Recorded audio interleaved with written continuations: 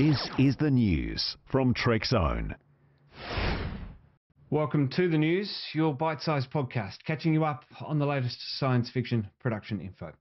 Well, we start with the passing of Nichelle Nichols at 89 years young.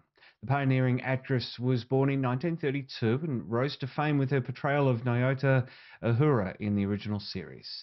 She would go on to work as a spokesperson for NASA in their efforts to recruit women and African Americans for the astronaut program.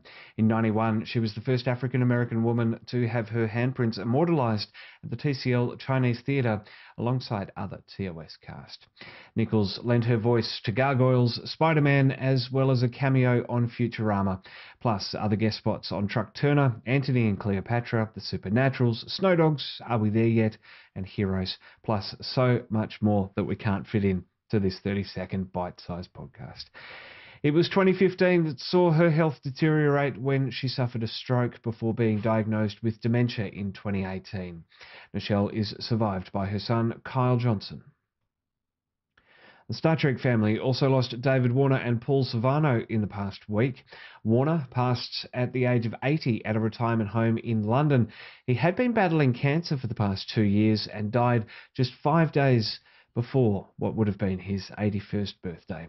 The Emmy winning actor's career spans back to the 1960s with memorable roles in films including Cross of Iron, The Omen, Time After Time, Time Bandits, Tron, A Christmas Carol, and Titanic. His Star Trek duties saw him as St. John Talbot in the Star Trek V, in Star Trek V, Chancellor Gorkon in Star Trek VI, in Gul Madred in the TNG two-parter Chain of Command. Following a battle with health issues, Paul Sorvino passed away at age 83. Trek Movie reported that the award winning actor is known for a number of roles in film and television dating back to the 70s, with playing a gangster Paul uh, Cicero in the 1990 film Goodfellas, possibly his most f- iconic. Trek fans will remember Sorvino as Worf's brother Nikolai Rozhenko in the seventh season Next Generation episode Homeward. And one more death to report on this very somber news podcast. Bernard Cribbins passed away Thursday at 93.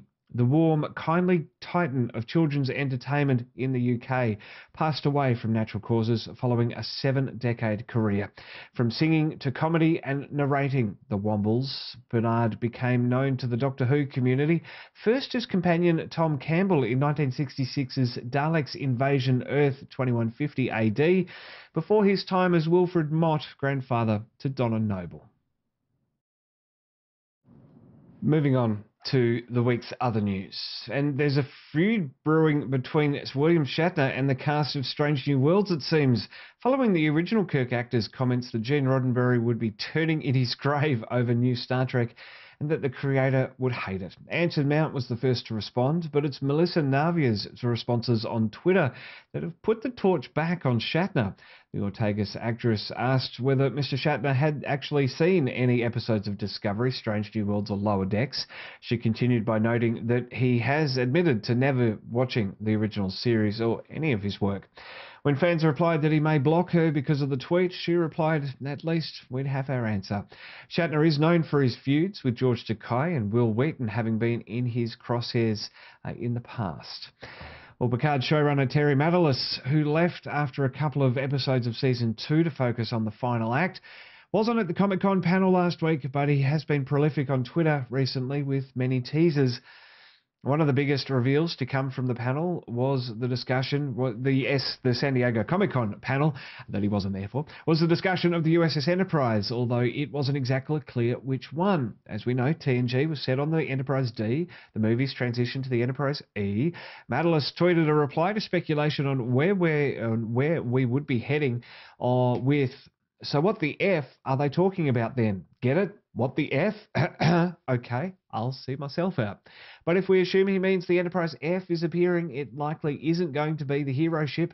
We also know that Worf's new sword is a Kurleth, designed by Dan Curry. He designed a lot of the Klingon stuff uh, in the 90s. He's a uh, Worf is a captain in rank only, according to Matalas's tweeting. The Dominion War plays heavily. Geordi's a commodore, Seven's a commander and a first officer. Not necessarily on the Enterprise if we see it. A familiar actress, but a new villain is our antagonist, and potentially not everyone in the recently released trailer should be in uniform. There is plenty of speculation, and Matalas is only driving, fueling that speculation as well. We're going to have to wait for Picard Season 3 to hit our streaming devices very, very soon. Well, with the focus on TNG and even Voyager in this new era of Star Trek shows, executive producer of Star Trek as a whole, Alex Kurtzman, responded to a fan question at San Diego Comic Con about paying attention to Deep Space Nine Kurtzman saying, I think you're always going to have conversations about the history of Star Trek. And obviously, Sisko is a critical, critical figure for everybody. So conversations have definitely been had. We don't want to just launch into something without going, oh, we have a new idea now, a new reason to do it, a way to turn it in a new direction so that it's not just repeating the thing you've seen before, but it's also honoring the thing that you love. At least DS9 is getting some big attention from IDW Publishing, who announced a new ongoing Star Trek comic book series that'll focus on Sisko returning from the Bajoran wormhole after the DS9 series finale. Lastly, this week, Jonathan Frakes was the first guest on a brand new video podcast hosted by veteran Star Trek journalist Ian Spelling called To Boldly Ask. As a director on Star Trek Discovery, Frakes was one of the first to work with Adira's non binary actor Blu del Barrio and said that he was astounded by their talent and disarming confidence on set, responding again to this whole wokeness in Star Trek issue that seems to be cropping up and everyone keeps forgetting how the past was. My personal opinion is that uh, now we kind of need a bit more of a sledgehammer um, than we did back in the day. Well, Frakes brought up the familiar to some story of how he felt that Soren in TNG's The Outcast, not to be confused with Soran from TNG's Generations, should have been played by a male actor, saying that the network or someone didn't have the guts to cast a man, likely in fear that Riker would have been seen as gay. He said he always saw that as a missed opportunity. As for Star Trek being woke, he told the podcast people perceive that Star Trek is too woke because it's dealing with what's really going on in the world in a very timely and concise, uh, concise and appropriate way. It seems absurd, he says. So there we have it. That is the news for this week. We are recording on August 1. TrekZone membership costs less than a cup of coffee a month. It's available via the join button uh, below on YouTube. For our podcast listeners, jump onto the trek.zone slash support growing me supporting me even grow this channel get you first play access and behind the scenes goss.